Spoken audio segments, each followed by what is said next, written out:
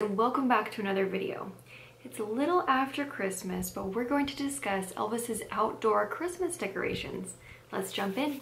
Christmas was Elvis's favorite holiday, so for their first Christmas in their new home, Elvis made a big flashy purchase for their front yard. On December 12, 1957, Elvis spent $300 on lawn art.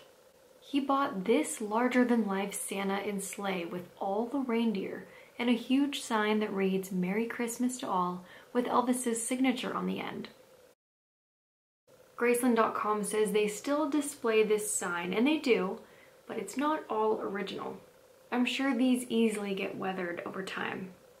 Here is a side-by-side -side of the original Elvis signature and then the one that is on display today. It is still Elvis's signature, but it is definitely a different version. In 1965, he began switching it up and instead went with a nativity scene and aluminum trees and gave the Santa and reindeer a rest. They contracted a Memphis artist named Hardy Phipps to create a nativity scene to display on Graceland's front lawn.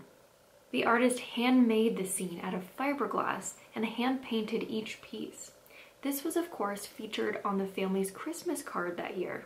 This is super hard to read, but it is a check made out to Hardy Phipps for $1,140 for a life-size nativity scene signed by Vernon Presley. Just to clarify, that would equal over $9,400 today.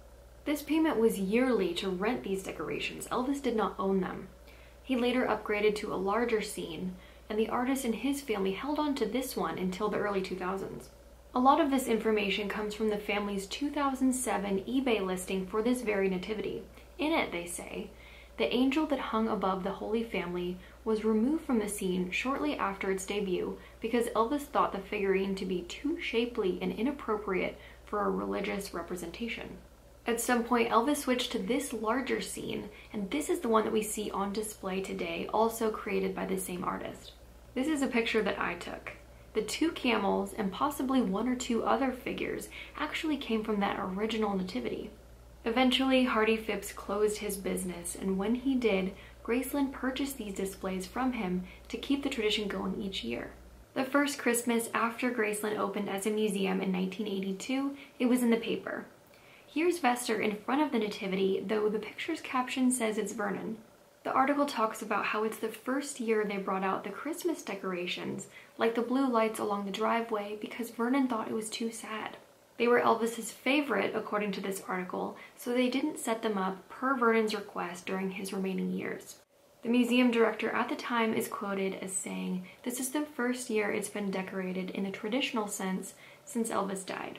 In honor of their first Christmas open to the public, Fans were invited to be part of the festivities by mailing in ornaments for two blue spruces that were set up inside the house, one in the dining room and one in the racquetball building. And that is it. To get a closer look at the pictures I used in this video, follow me on Facebook or Instagram. The links are in the description box below. I will be sharing them on there.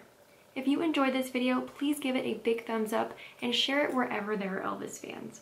As always, thank you so much for watching, and please subscribe for more adventures.